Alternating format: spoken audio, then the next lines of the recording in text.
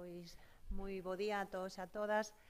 Vimos de realizar a primeira xuntanza do Comité de Seguimento da Crise do, do Coronavirus.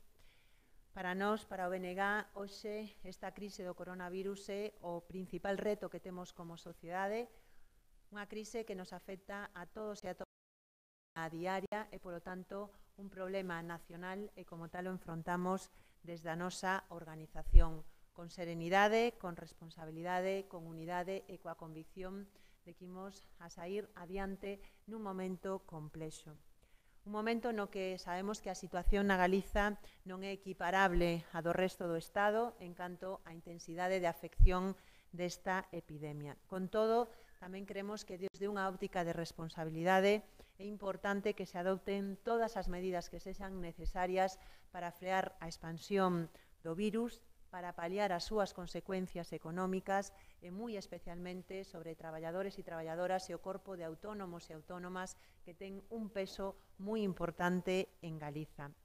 Paliar a expansión do virus require a articulación de medidas tamén adaptadas á nosa realidade. Temos características propias como país, situacións específicas como, por exemplo, unha maior poboación de risco polo número tan importante de persoas maiores que hai no noso país e isto, polo, polo tanto, require que se adopten medidas propias desde Galiza para frear a expansión do coronavirus adaptadas á nosa realidade e, sobre todo, adaptadas ás características da nosa poboación e o tipo de asentamentos que temos no país.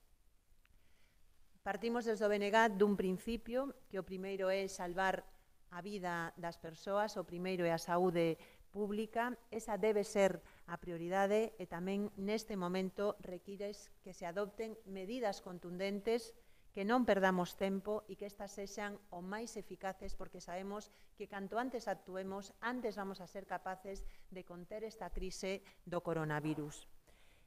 Como decía, na Galiza non temos aínda unha situación tan alarmante como en outros lugares, pero hai un incremento notable e preocupante de casos. Esta tendencia á alza do impacto do coronavirus fai necesario que se adopten medidas contundentes para frear a súa expansión.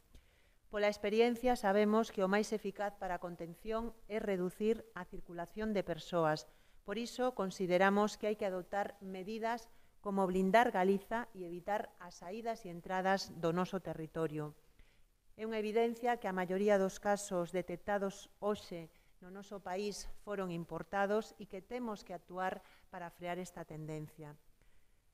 Sabemos tamén que hoxe en moitas vilas de Galiza hai moita preocupación porque se deu un fenómeno, unha concentración de persoas que se trasladaron desde zonas de alto risco e consideramos que se deben de adoptar medidas que limiten a mobilidade nestes espazos para evitar que se propague o virus.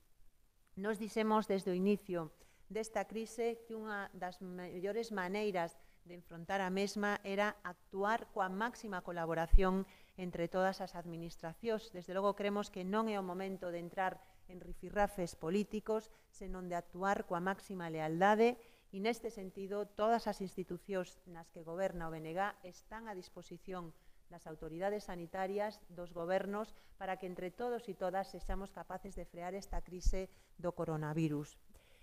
Tom, entre as medidas que adoptamos hoxe, eh, pois tamén está a de incidir en que en todas as institucións nas que goberna o BNG se constitúan comités de seguimento da crise e que se dé información detallada aos grupos da oposición e que se actúe de cara á sociedade coa máxima clareza e transparencia.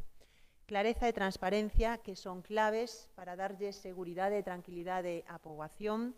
Creemos que en ese sentido todas as administracións deben redobrar esforzos para que as recomendacións e pautas que se emitan xeneren certeza, que xeren seguridade e que eviten angustia que en algúns casos pode sentir a poboación ante o impacto que pode ter a crise do coronavirus.